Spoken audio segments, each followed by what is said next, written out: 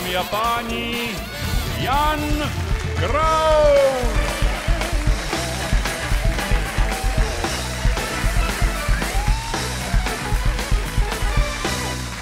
Děkuji úctivě, dobrý večer. Děkuji úctivě.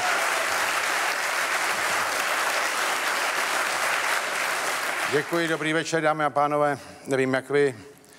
Já čtu denně uh, tu kauzu Naďová. Uh, to se nedá přeskočit.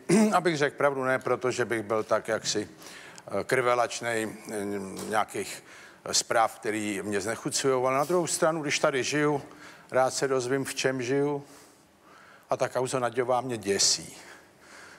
Abych vám řekl pravdu, to, že má někdo vztah, to mě neděsí, to se stává, ostatně něco o tom vím.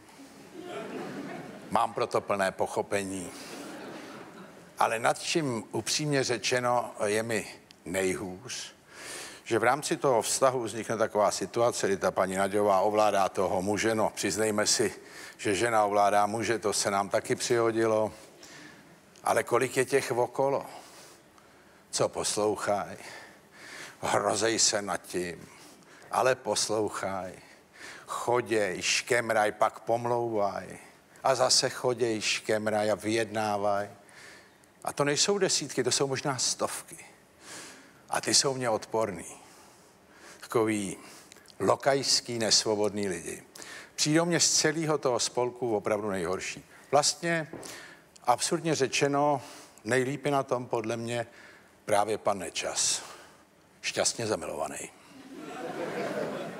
Chápu.